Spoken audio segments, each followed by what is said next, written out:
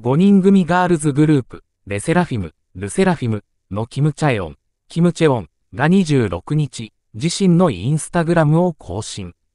ロングヘア姿を公開し、話題を集めている。写真、ルセラフィムチェオン、茶髪ロングヘア×美脚際立つオフショット。キムチャエオン、茶髪ロングヘアに反響殺到飛行機に乗車する様子を公開したチャエオン。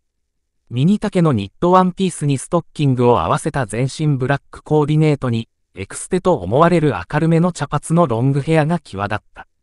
最近までボブヘアが定着していただけに、突然の茶髪ロングヘア姿にファンからは、破壊力すごい、チェウォンの茶髪ロングはなく、めっちゃ似合う、女神降臨、色っぽい、